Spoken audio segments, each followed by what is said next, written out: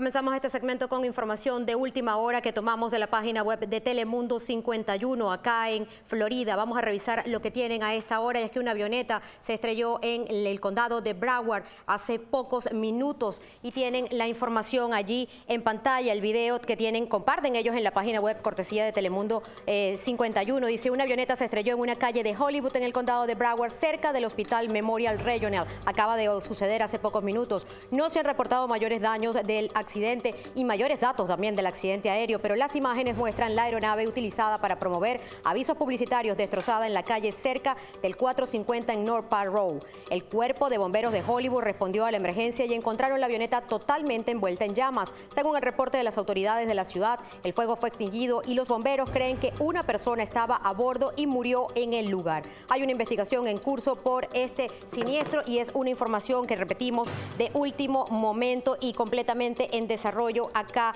en el condado de Broward, en el estado de la Florida. Seguimos con información de Estados Unidos. La Secretaría de Seguridad del Estado mexicano de Nuevo León reportó el hallazgo de al menos nueve de los 50 migrantes que fueron secuestrados por un grupo de hombres armados cuando viajaban en autobús por una carretera de San Luis de Potosí, en México. Se trata de personas originarias de Venezuela y Honduras que lograron escapar de sus captores y fueron localizadas tras caminar extraviadas por una carretera rural entre las localidades de Mataguala, San Luis de Potosí y Saltillo en Coahuila. Policías de Fuerza Civil encontraron a seis personas del sexo masculino que pedían auxilio. Posteriormente se localizaron tres migrantes más, explicó la secretaria de Seguridad de Nuevo León en su página de Facebook. Además detalló que las edades de los migrantes hallados oscilan entre 18 y 35 años. Esto pertenecían al grupo de personas que habían sido privadas de la libertad en territorio del estado de San Luis Potosí, puntualizó la Secretaría de Seguridad. A última hora del martes, la Fiscalía General de Justicia de Nuevo León reportó el secuestro de un grupo de 50 migrantes que viajaba en un autobús de pasajeros hacia el estado fronterizo de Nuevo León en el norte del país. La Fiscalía agregó que los hechos se registraron este lunes en denuncia. Dos conductores mexicanos también fueron secuestrados. El autobús con migrantes habría salido desde Tapachula, en el estado de Chiapas, una de las principales rutas migratorias por las que llegan indocumentados a México con destino a Estados Unidos. Según la Confederación de Pasajeros y dos choferes mexicanos, estarían pidiendo un rescate de 1.500 dólares por persona.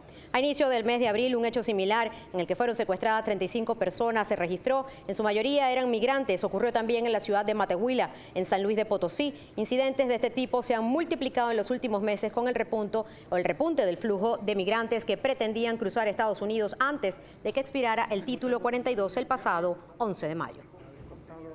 Y justamente desde Florida, el gobernador Ron DeSantis aseguró que el Estado enviará a Texas agentes de la ley y soldados de la Guardia Nacional del Estado para apoyar en la situación que se vive en la frontera sur de los Estados Unidos. En un comunicado de prensa emitido el martes, Ron DeSantis dijo que el Estado tiene más de 1.100 activos y recursos para enviar como ayuda a lo que llama la crisis de seguridad fronteriza.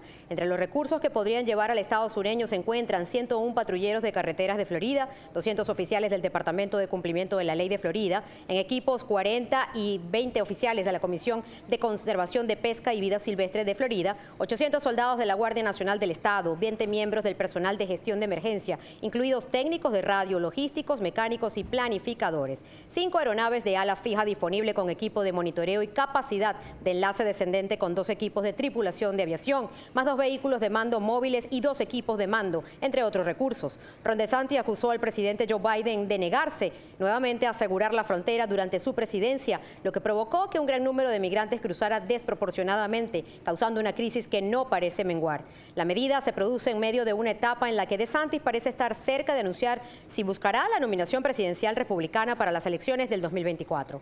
De Santis ha hecho de la inmigración un punto focal de su cargo como gobernador. Ya en 2021 envió fuerzas del orden público a Texas y Arizona para ayudar con la frontera. A principios de este mes también firmó un amplio proyecto de ley de inmigración que endurece los requisitos de las empresas para verificar el estado migratorio de los trabajadores y proporcionar más fondos para el programa de reubicación de inmigrantes.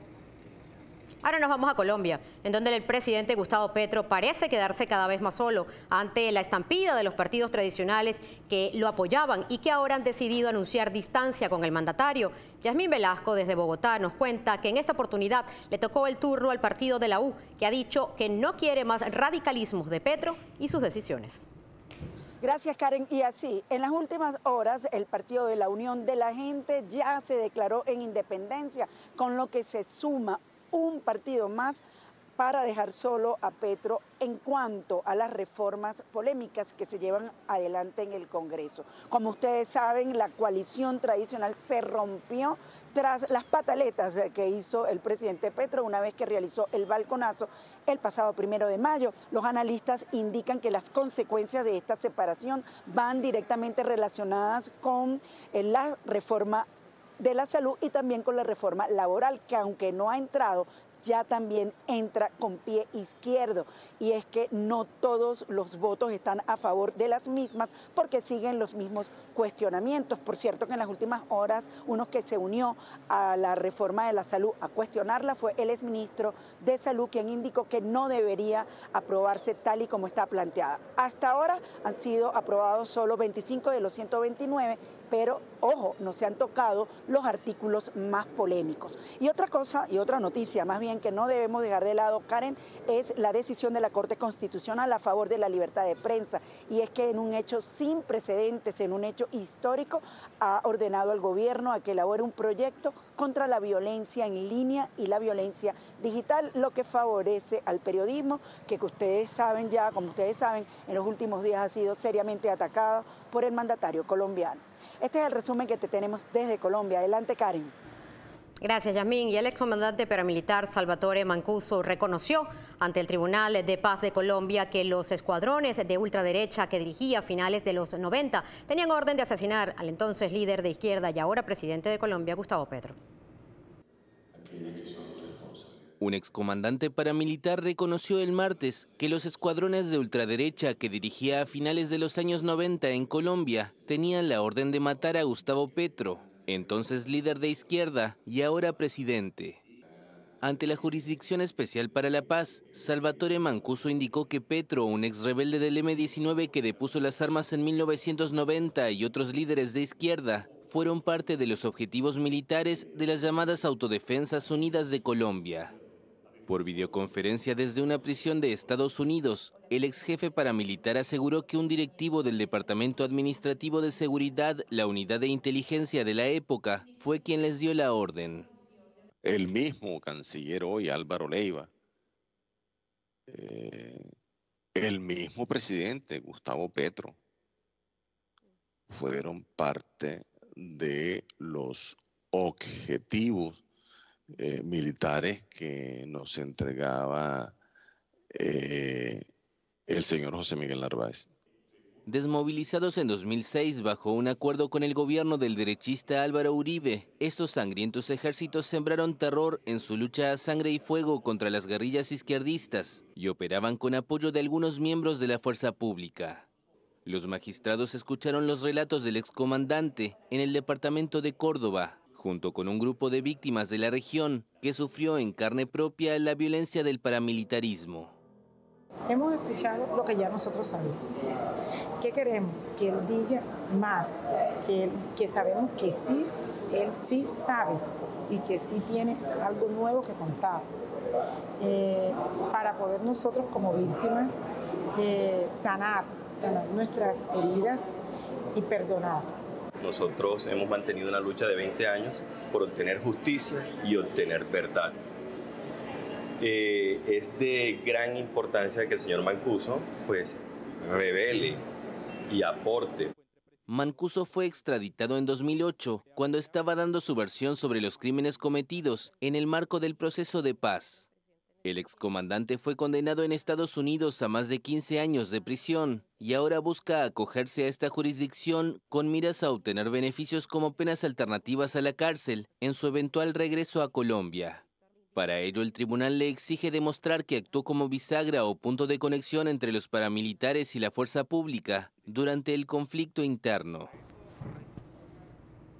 Y al menos ocho personas murieron y miles fueron evacuadas de sus hogares después de que las fuertes lluvias causaran estragos en la región norteña italiana de Emilia-Romagna, donde el Gran Premio de Imola del próximo fin de semana será cancelado. Fue cancelado. Inundaciones en Italia. Las autoridades informaron el miércoles que al menos ocho personas murieron y varias estaban desaparecidas después de que las fuertes lluvias causaran estragos en la región de Emilia-Romagna, al norte del país. Miles de personas fueron evacuadas y unas 50.000 se quedaron sin electricidad. El presidente de la región, una de las más ricas de Italia, declaró que Emilia-Romagna se había visto afectada como por un terremoto. En Forli, Cesena y Rávena cayeron unos 50 centímetros de lluvia en 36 horas, cerca de la mitad de las precipitaciones anuales normales, una situación que según el ministro de Protección Civil tiene pocos precedentes. Una veintena de ríos se desbordaron entre el martes y el miércoles. La situación llevó a la suspensión del Gran Premio de Fórmula 1, que debía disputarse de viernes a domingo en el célebre circuito de Imola. En un comunicado, el promotor de la categoría informó que la decisión fue tomada ante la imposibilidad de organizar el evento, con toda seguridad para los aficionados, los equipos y el personal. En la parte inferior del tradicional obelisco de Buenos Aires está cubierta por miles de bolsas plásticas de solo uso en el marco de una campaña de concienciación de cara al Día Mundial del Reciclaje. Un paisaje inusual en el famoso obelisco de Buenos Aires. Una buena parte del tradicional monumento está enteramente cubierto con miles de bolsas plásticas de un solo uso. Se trata de una intervención artística del colectivo internacional Luz Interruptus que busca generar conciencia previo a la celebración del Día Mundial del Reciclaje. La instalación se denomina El plástico con el que vivimos y es una adaptación de una obra conceptual que ya se realizó en diferentes partes del mundo, en la que los artistas combinan materiales con la luz para crear escenarios disruptivos. La obra estará en exhibición hasta el 24 de mayo.